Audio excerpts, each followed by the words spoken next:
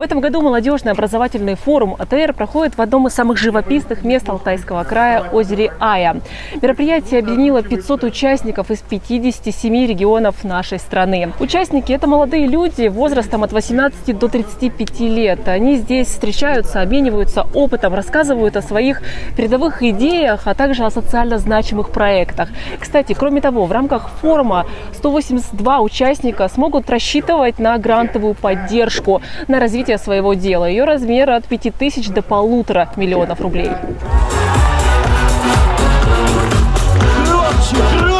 Программа форума разделена на 12 площадок. Эксперты, а их более 100, будут обсуждать самые злободневные темы.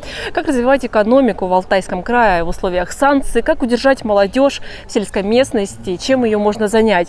Но все-таки самой главной фишкой и новинкой этого года стала тема развития молодежного туризма. Участники будут изучать эко-волонтерский туризм и, возможно, в будущем работать на курортах и санаториях Алтайского края. Тем более, что спрос на эти услуги сегодня особенно высок. На молодежном форуме обсуждали не только экономику и бизнес, но и, пожалуй, самую модную профессию современности у молодежи. Это профессия СММщик. А, этой специальности посвящена даже целая площадка «Медиадвиж».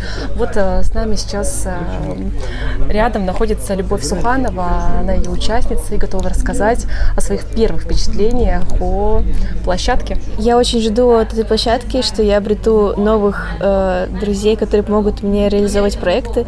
Я уже нашла девочку, которая присоединилась ко мне в команду команду на проект в, в твой ход. Мы делаем экосистему для иностранных студентов, которые, у которых возникают сложности с внедрением в нашу русскую социальную среду.